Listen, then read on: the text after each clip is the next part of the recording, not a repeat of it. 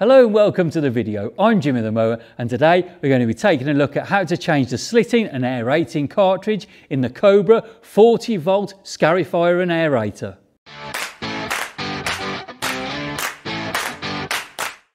Well, this seems like a daunting task, but believe me, it's so simple. Just two little bolts on there and you can take one cartridge out and put the other one in. However, a word of warning before you start, get yourself some gloves. So I've got some nice thick latex padded gloves there because these things are sharp. They really are sharp and they will stick in your fingers. So just be on the safe side, get yourself some gloves. I know it's not the easiest thing to work in, but it does make it safe. Now, secondly, the only tool you'll need is an Allen key. And very nice, a Cobra themselves, they've put the Allen key on the handle. There's a little clip on there. When you assemble it, you probably won't even notice it because I didn't.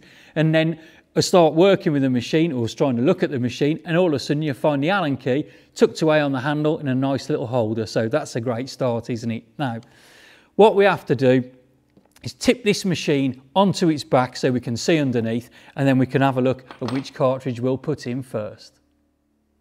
Now, I'm not sure which cartridge you'll get inserted when you purchase the machine yourself, but mine came mail order. And when it arrived, I had the slitter cartridge installed underneath, right? So it depends which one you want to do first. Now, I'm always a fan of getting some aeration into the soil really, getting some, um, letting the air get down to the roots. So a slitting cartridge is always a good place to start. So if you've used that one, you've gone up and down, you've put some slits in there, you've let the air get through, improve the drainage as you do, that's how it works. You can then take this one out. Now, it's quite simple to do. You have to undo these two little bolts with the Allen key that's provided. The bolts fit through the end in here and when you take those out they'll just fit into the scarifying cartridge in there. So you can't get them the wrong way round because they only fit one end. On the other end is a square drive. Now this square drive here is quite large and that fits snugly into there, a nice solid metal fitting. And that is the drive from the motor. So the motor will drive this end and there's a nice bearing as you can see that's spinning round. There's a nice bearing in this end which allows it to spin on that on that end. So that's how it works. Driven this end and just spins that end with a bearing, right? So that's as easy as that. Now, I'll show you first how to put this one in because we'll just have a look at that and how easy it is to fit that back in there and we'll just tighten those up. And then once I've done this one I'll take this one out again and I'll put this one back in because I really need to go and get some slits cut into my lawn because we've had so much rain lately. After such a dry summer, the rain's come down and everywhere is saturated. And before I can scarify and relieve all that compacted layer, I need to slit it first and just let it breathe a little bit and let the water drain through. So we'll change it round. We'll put this one in first. Oh, sorry. No, we'll put this one in first and then I'll change them round. Now, as you can see, I've turned the machine on its side. That's the beauty of these battery machines.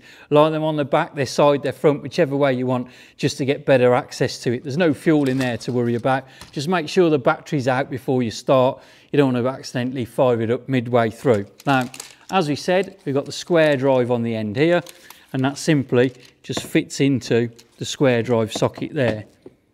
That's that. And then this fits into the top. Now, that fits in there securely. Now what I'll show you is on this one, there are two ways of which this fits, all right?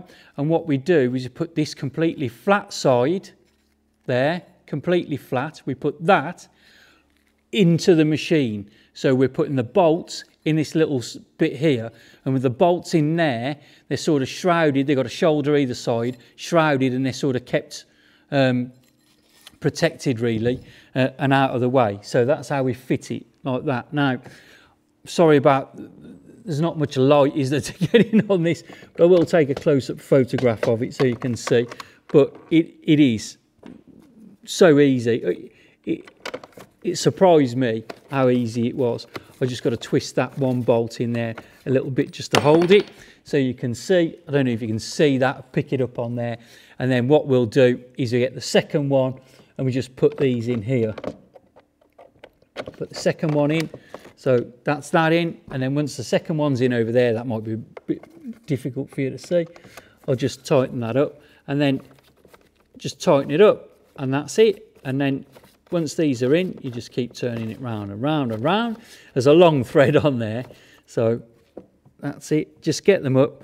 There's no need for any mechanical impact driver or impact wrench. You just turn those round so they're in finger tight. But remember, once you've done this one and you tighten that up like that, go back to this first one and tighten that one up again right? Because as you pull them in, they'll go in slightly unevenly. So you just tighten the one up, tighten the other up, and that's it. And they're both tight, and that's it, fitted. And then you can turn this round by hand because it's an electric motor again. And that's it, and it fits. And there shouldn't be very little play in there, up and down. There's, there's none at all, really. And it just turns round. And that is your scarifying cartridge fitted. And don't worry, you can't get it the wrong way around because there's only one way it can go in. It's as easy as that.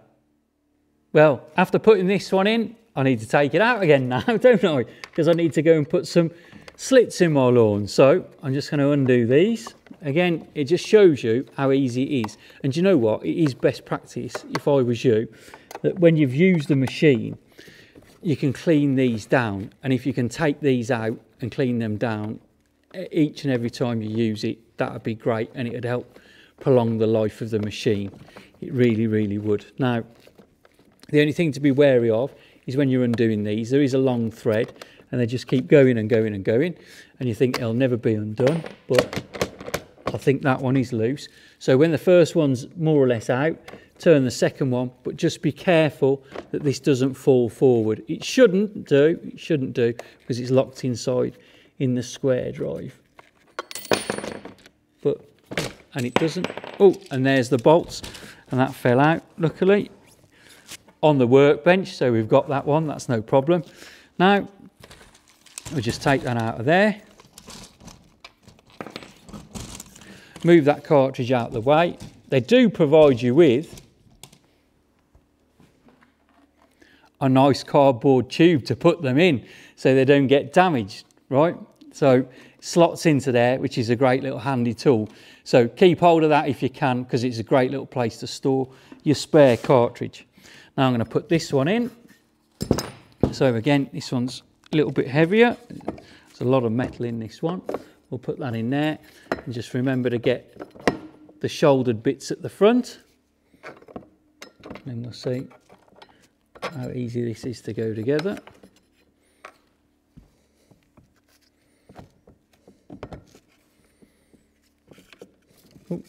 Spun it round then.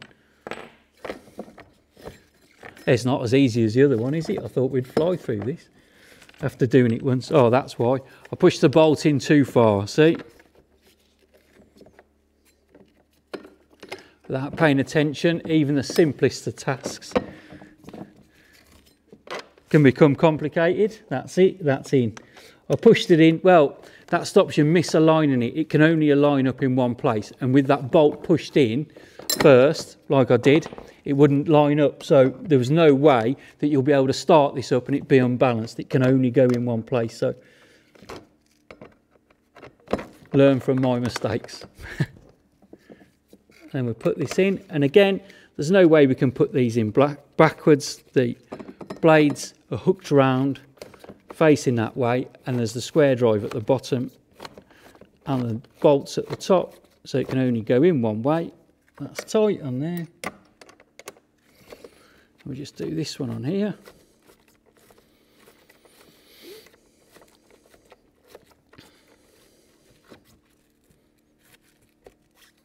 Oh, that's nice and tight and just tighten them both up again. There you go, job done. I'll put this on in the cardboard tube so it's nice and safe and then we'll go and get to work with this one. Thanks for watching. I hope that's uh, helped you out a little bit there. If you've got anything nice to say, pop it in the comment section below. And the links to the videos of this being used in action and the handle being put together will all be in the description below. So if you need to find out any of those things or just want to see it working, just click the links in there and it'll take you straight to that video. Thanks again for watching. I'm Jimmy the Mower. I'll catch you on the next one.